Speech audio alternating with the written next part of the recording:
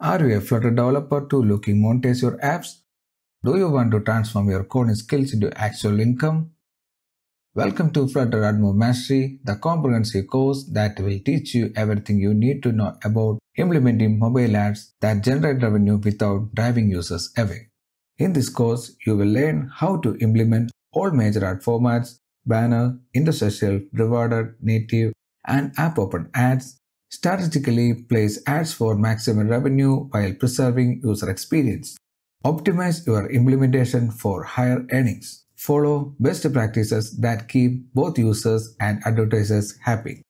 Whether you are creating your first app or looking to monetize your existing portfolio, this course provides the exact strategies professional developers use to generate sustainable income for their applications.